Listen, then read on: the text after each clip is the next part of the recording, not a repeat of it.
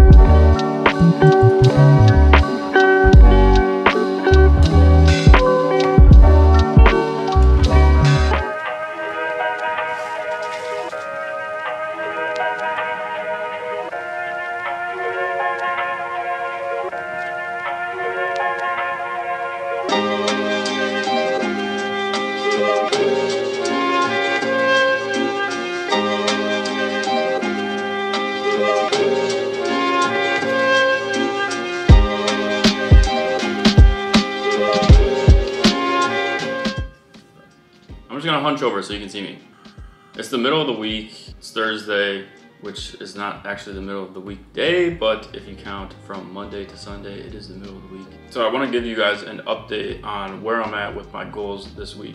I'm not sure if I mentioned this already because it's been a few days since the first part of the vlog, but I basically keep track of what I wanna do for each day. And then at the beginning of the next day, I will track if I did those things or not, like if I accomplished those goals. And I have a different goal for each goal category. So like relationships, physical, mental, etc. By the way, I'm doing this during my lunch break, during the workday. It's like two o'clock, I guess, which is a late lunch, but hey Google, how much time is left? Nine minutes and 12 seconds left. Okay, I have nine minutes left in my lunch break, which I give myself about 30 minutes for. I'm gonna take a little bit longer today, but I do have stuff to do at work, so. So I'm gonna just start with my goal categories, tell you what the goals were and how I'm doing so far. So for relationships, this is like, you know, it's kind of corny, but relationships are ultimately, I think, what make you the happiest in life. So having good relationships is important, and that's why I have it as a goal. That goal category is broken down into significant other, which is like, you know, girls, family, and friends. And so I basically want to do at least one of those things per week. And specifically, I want meaningful connections in each of those subcategories. Okay, so I'll, I decided I'll talk about the family and friends goals, but the meaningful, significant other relationship, I'm not going to talk about that one. At least not right now. So for family, I haven't really had a meaningful connection, like a call or anything, but I just saw them last week in person. Like I went back home and saw them in person. So I will make a point to call them, but it's just like I just saw them, so. But for the friends connection, last night I went to a crypto meetup and met a ton of new people and hung out with my new friend who invited me there. And so number one, I strengthened that relationship, which is awesome. And now I have a bunch of new, like green, fresh relationships uh, with friends who are interested in things that I'm interested in. And that also ties into, you know, entrepreneurial kind of career goals as well. So it's, it's really meaningful to go to that kind of stuff for me. For entrepreneurship category, I, basically right now I just want to track my progress every day and update my tracker system as I need to. So I've been doing that every day successfully and I'll just keep going on that. The entrepreneurship goals are also kind of tied into the artistic goals because that is like being a creator and I'll talk about that in a second, how my progress is there. So for physical goals, I'm still have a little bit of a cold, which sucks, but I did go for a run today, which felt awesome. It was cold out, but it was sunny. It was it's always fun running in New York.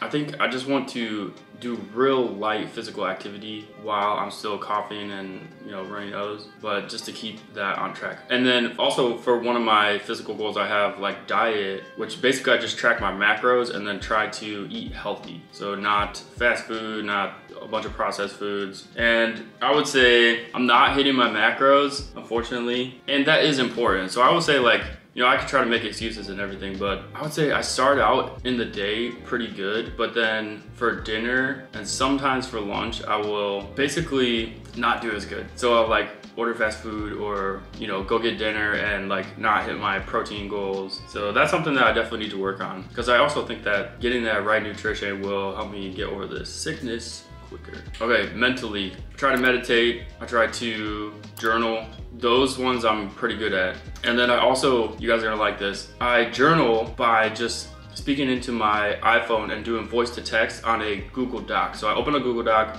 turn on the voice to text, and then I just literally talk about like what has happened so far in the day, what happened yesterday, and I try to do that once a day. And so I'm pretty good at that. I try to do it twice a day, but once or twice is good. And then meditating, like I cannot be a bigger advocate for meditating.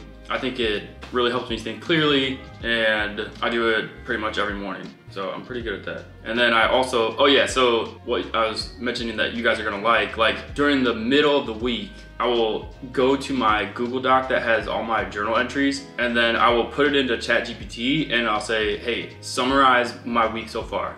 And that means that I don't have to read back through all of the text that I wrote to get a high level understanding of how my progress has been so far. And just like what's going on in my head, what I'm thinking about, so I can reflect on it and then I literally asked ChatGPT, okay, how can I improve? And then it'll give me some recommendations or whatever. And a lot of times it's common sense stuff or like something like that, like not too complicated because it is ChatGPT. But sometimes it is stuff that I haven't thought about yet or I'm just not, it's just not top of mind. And that just helps me kind of understand the bigger picture of what's going on in my head. So I really, I like that. And then I also do the summary at the end of the full week as well, which I'll show in the next vlog, in the next update. Okay, so for financial, not gonna talk about that, but I have budget goals and I have yearly savings goals. I'm gonna try to find a way that I can talk about that without giving the exact numbers because I don't wanna do that. But I can still update you guys on what my progress is, if I'm on track, all that kind of thing. So. Stop. Okay, break time's over. Yeah, I don't know why. Switching up the angle for you. Make it, keep it interesting. Okay. Next up, work goals. So, trying to think about how to talk about this with you guys without giving away company secrets. So I work at a tech company. I'm a software engineer, if you didn't know. And I'm trying to get to the next level. I'm trying to get promoted, right? So I set goals for the week, like a high level objective. And I would say that I'm on track to achieve that objective pretty much as, as good as I can do. And how I break that down and track it in a metrics driven way is I track focus sessions. So I want to have a certain number of focus sessions per day on average. And these focus sessions include deep work and meetings. It's just like any time that I'm actually working without doing other stuff like going to the bathroom, eating lunch, um, going for a walk, taking breaks, that kind of stuff. So I have a certain number of focus sessions, and uh, that's what I track per day. And so usually, as I've experienced in the past, if I meet those focus session goals per day, then usually I'll meet the key objective for the week. Now, let me give you an example, I guess, because this is kind of confusing. So say you want to make a design for your software. Well, you have to write the design. So for one week, the objective is to write the design. And then I'll set, say, three focus sessions per day, which I'm not gonna tell you how many minutes there are, because I don't wanna say like how much I work, how much I don't work. Yeah, it's just more personal. But, and then I set a certain number of focus sessions per day that I think will be enough to help me achieve that key objective. Oh man, I need to get better at this. Okay. Man, f this lighting. I don't like this. Okay, we're moving you back over here. okay, so yeah, I don't know about that either. okay, there's my dirty dishes. Yeah. So I'll hit those focus session goals or try to, and then hopefully I hit my key objective for the week. And then I just track my progress from week to week to make sure I'm on track towards the longer term goal. And so the update for this week is that I'm pretty much on track with the focus session goals and the longer term objective for this week. Okay, finally, I have a artistic goals category, which is pretty much just like Instagram and YouTube. I'm thinking about how to incorporate that into the entrepreneurship goal thing, but that will progress as I kind of just take action. I'll figure it out. So I wanted to do, I have on here two Instagram posts and I did do two Instagram posts this week. And I also wanted to do this vlog. And so I feel like I'm pretty much on track for those. But yeah, so I got the two Instagram posts done. I'll probably actually make another one. I think I need to update that to three Instagram posts per week. And then just keep going on the YouTube stuff. So far, so good. But yeah, okay, okay, I'm reading my Slack messages. Nothing urgent. I'm gonna give you guys some more tips throughout this video. By the way, make sure you like, comment, and subscribe. You can catch future videos and to help with the algorithm, you know, algorithms, love them, hate them. And I will give you guys a update at the end of the week with probably some tips along the way if I think of any. But yeah, all right, let's get it.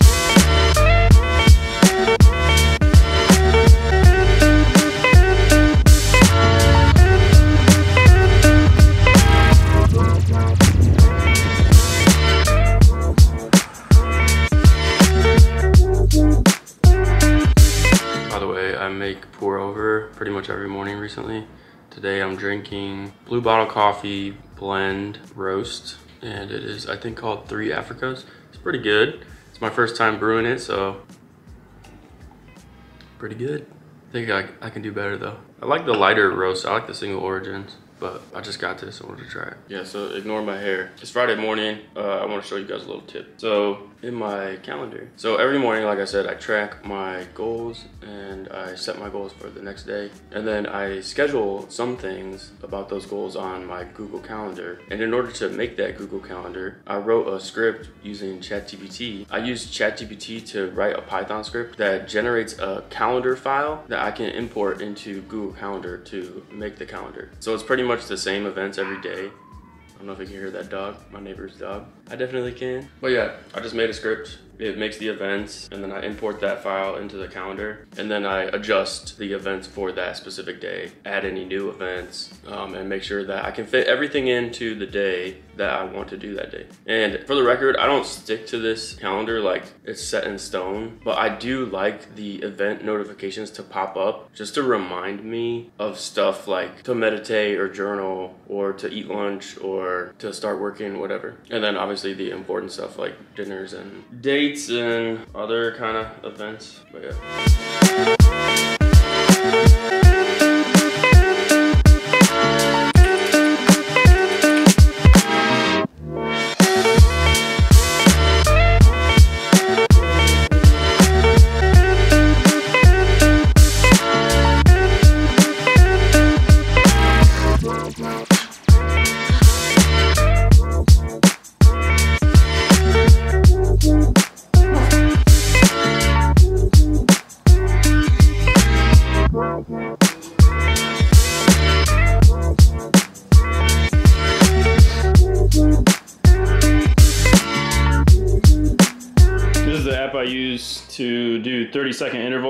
It's called seconds and it basically beeps every 30 seconds. So if you want to stretch or do something, you know, every 30 seconds, take a 90 second rest in between sets. It works really well. So yep, seconds, it's called seconds.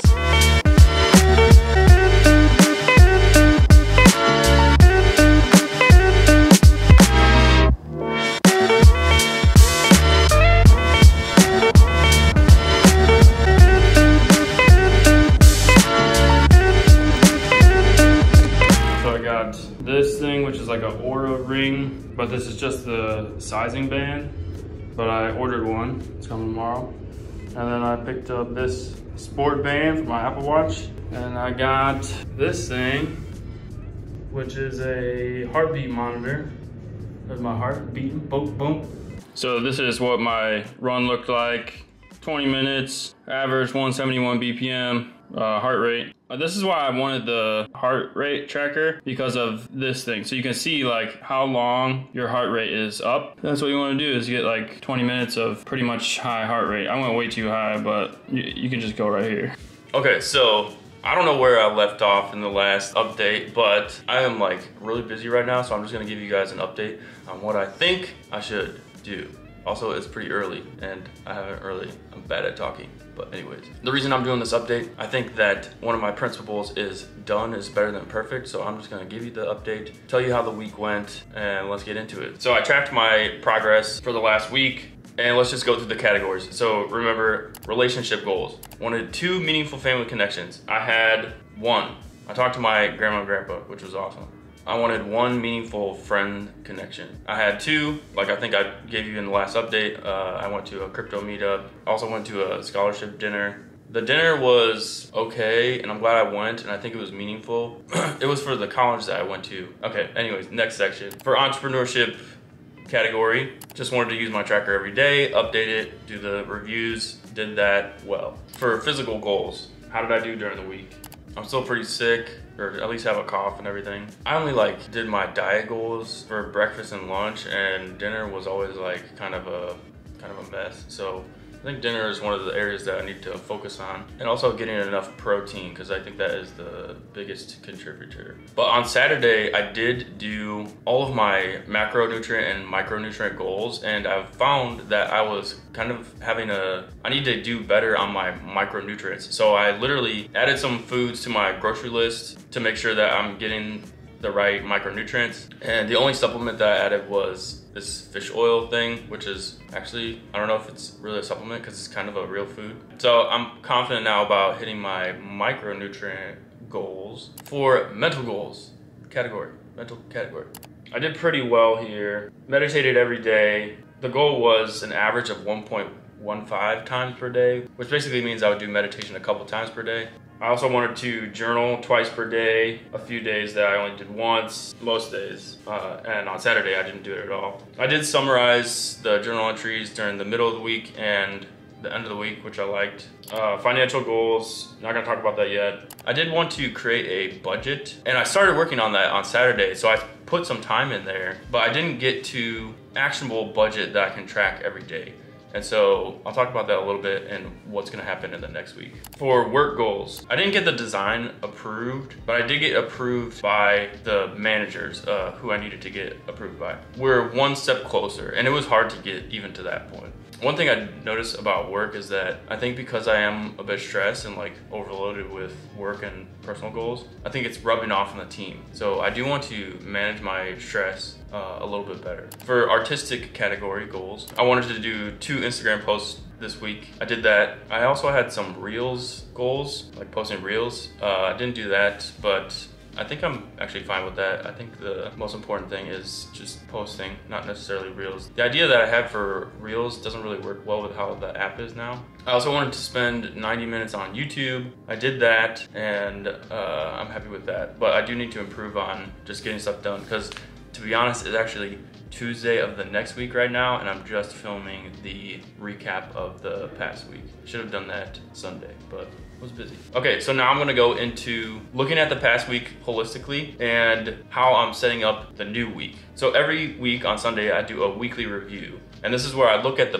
past week holistically, point out what I did bad, what I did good, and how to improve. Then I go to my quarterly view, which has week by week by week by week goals, and I update that section. And I see if I'm on track for my quarterly goals, which are more longer term goals than just week goals. And after I've looked at my quarterly goals, I'll make a new week. So this is gonna be week 12. Uh, last week was week 11. And then I'll update the weekly goals. You can just run through it category by category again. For example, for the relationship category, I have the same goals, no update there.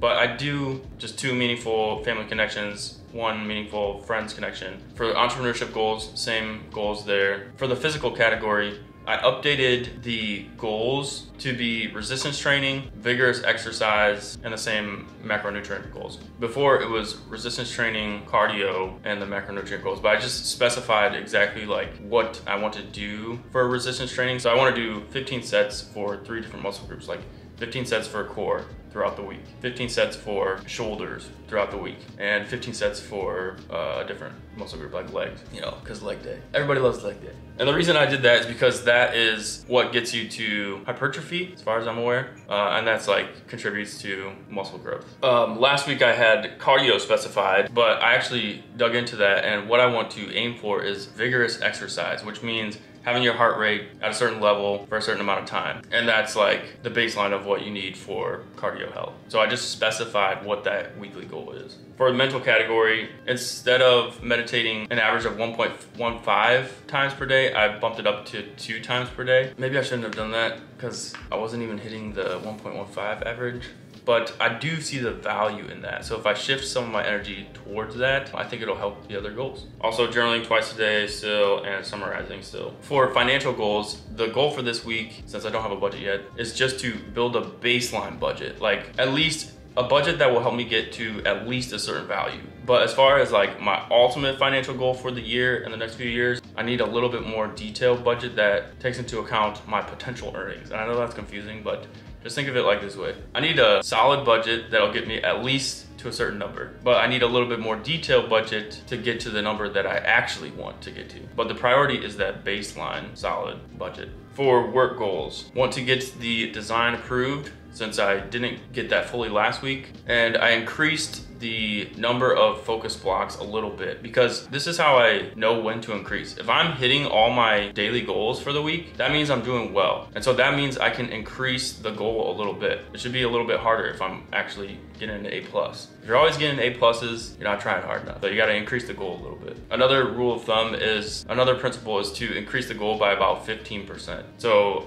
I was aiming for an average of, for example, 3.2 focus blocks per day, and now I increased it to 3.8 focus blocks per day, which is an increase of about 15%. For artistic goals, I reworked those based on the previous week and based on how the weeks fit into the quarterly goals. And this week I want to do three Instagram posts and I specified what categories I want those posts to be in. And then I also want to do YouTube, but instead of just like a weekly minutes per week goal, I have like specific days of the week and what I want to do on those days. And I also need to find an editor. So that is a look at my week. I hope you guys uh, found this interesting. I know this vlog is not perfect. I'm gonna make it better, but I just want to get it out there. Like I said, done is better than perfect. That's what they say. I think there's a lot of truth to that. So if you enjoyed the vlog, you want to follow the journey. Again, the purpose of this vlog is to communicate how important it is to understand yourself in order to achieve your goals and ultimately help other people. Make sure you subscribe, like, follow the journey. I'm also on Instagram, Jake, B-E-A-U underscore.